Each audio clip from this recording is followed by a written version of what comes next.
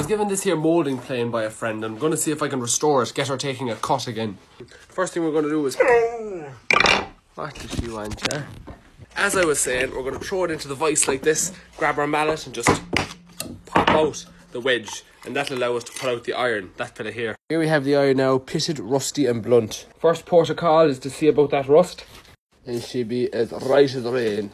So after the WD-40 and a quick sanding, she brushed up fairly nicely. Obviously there's a lot of patina, but the rust is gone. Now for my own favourite part, we're going to flatten the back of this with the diamond stone here, just by rubbing it like this. Now to sharpen the front bevel, you might have noticed it's not flat. We can't just rub it against the diamond stone. So what we need to do is get a bit of high grit sandpaper here. I have it wrapped around this curved handle of the mallet, and I'm just going to rub it up like that, and that's how I'm going to do my sharpening.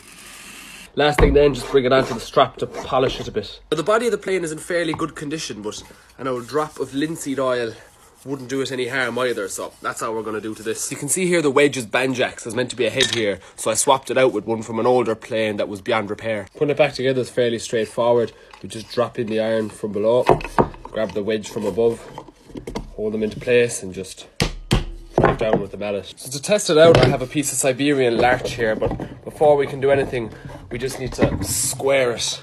So basically these moulding planes, they would have been, they're obsolete now, but they would have been used to make all the mouldings you'd see around your home. If you look at any old piece of furniture in your house, you'll probably see mouldings like this one here, this one around the edge, this one around the panel and this panel and frame door.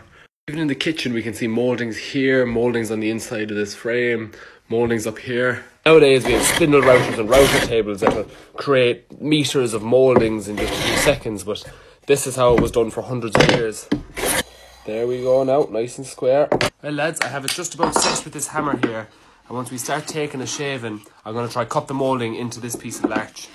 So we have it taking a nice shaving now every time. You can hear, you can hear it going. And you can see just how small and wispy the shavings are.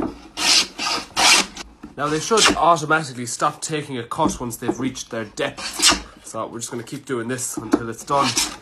You can see there now, lads, the moulding's been cut. It turned out beautifully. So there we go, lads. Like I said before, these things have become obsolete. So there's piles of them all over the place, just gathering dust, rotting, collecting woodworms.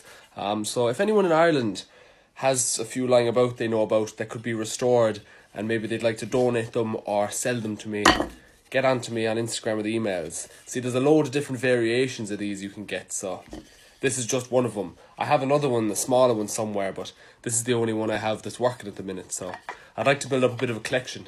Go on.